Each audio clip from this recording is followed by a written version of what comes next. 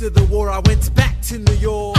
After the war, I went back to New York. I finished up my studies and I practiced law. I practiced law, Burr work next door. Even though we started at the very same time, Alexander Hamilton began to climb. How to account for his rise to the top? Man, the man is non-stop. Gentlemen of the jury, I'm curious, bear with me.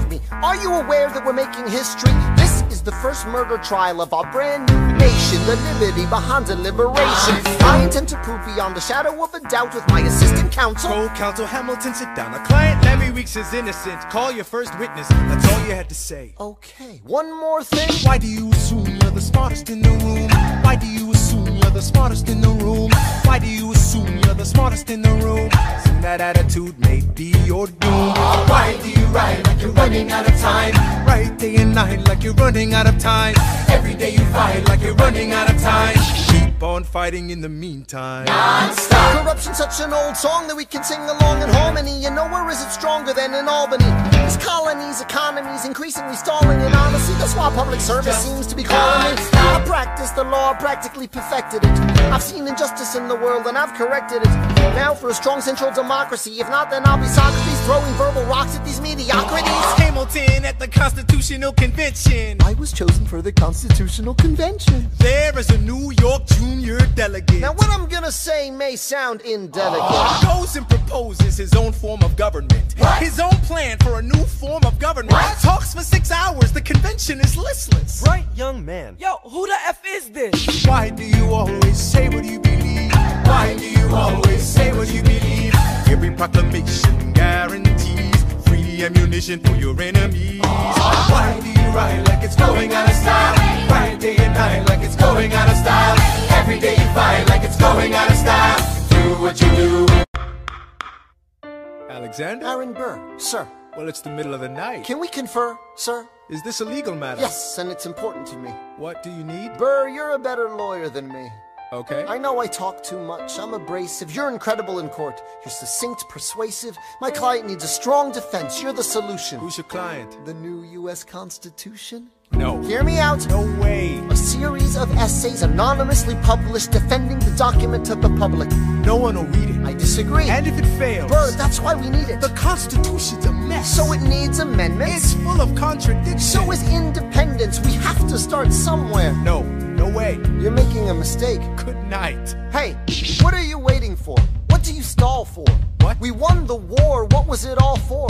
Do you support this constitution? Of course. Then defend it. And what if you're backing the wrong horse? Burr, we studied and we fought and we killed for the notion of a nation we now get to build. For once in your life, take a stand with pride. I don't understand how you stand to the side. I'll keep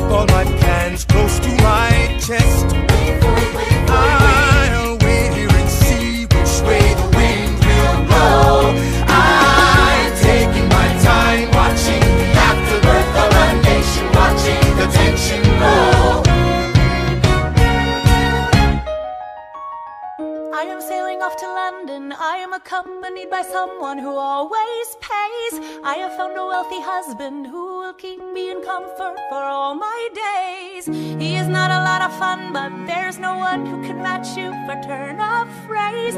My Alexander, don't forget to ride. Look at where you are. Look at where you started. The fact that you're alive is a miracle.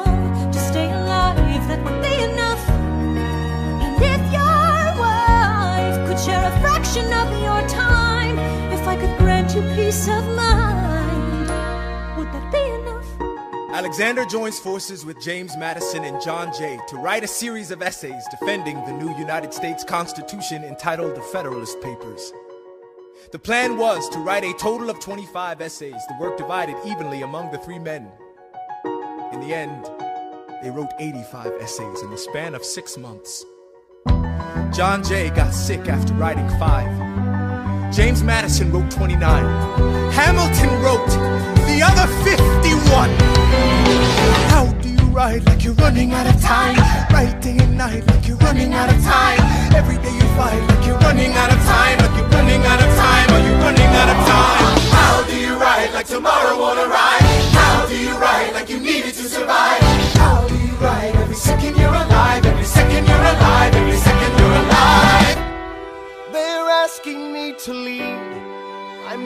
best I can to get the people that I need. I'm asking you to be my right hand Treasury man. or state? I know it's a lot to ask. Treasury or to state? leave behind the world you know. Sir, do you want me to run the Treasury or State Department? Treasury. Let's go. Alexander, I have to leave. Alexander. Look around, look around at how lucky we are to be alive right now. Helpless. They are asking me to leave. Look around.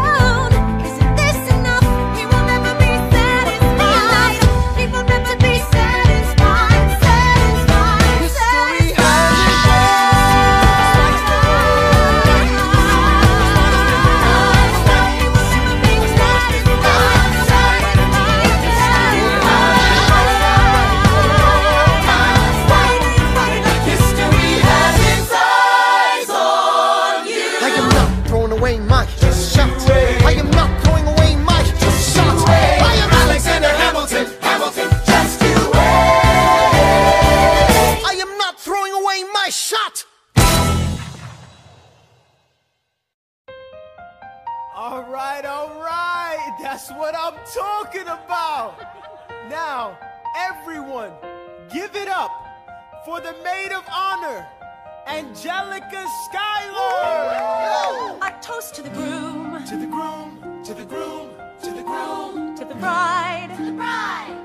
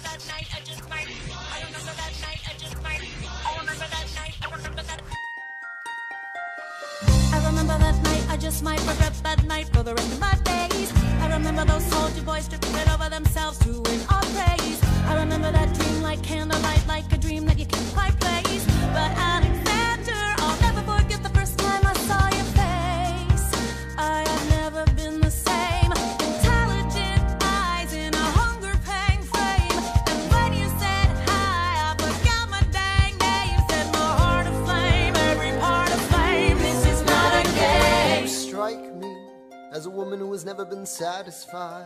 I'm sure I don't know what you mean. You forget yourself. You're like me.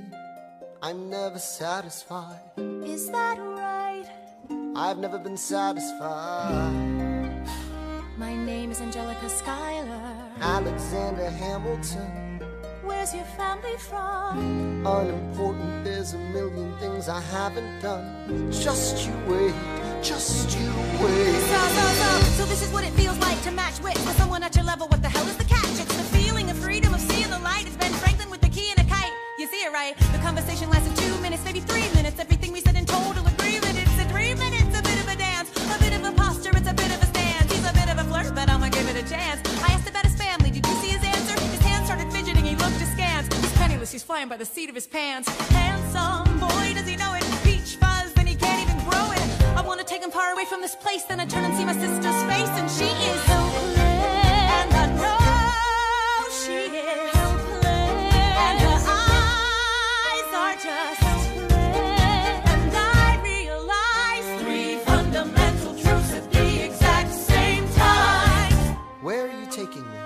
I'm about to change your life. Then by all means, lead the way.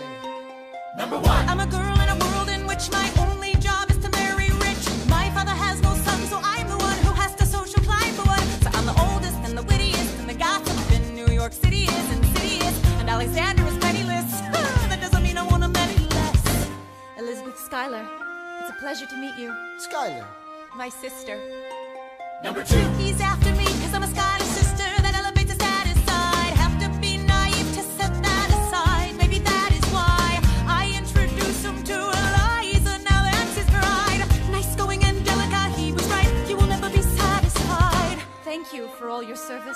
takes fighting a war for us to meet, it will have been worth it. I'll leave you to it. Number three. I know my sister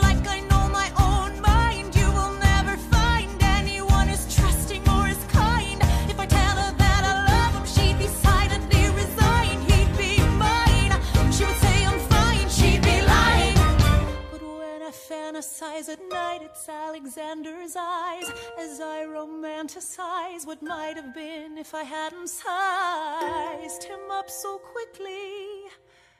At least, my dear Eliza's his wife. At least I keep his eyes in my life.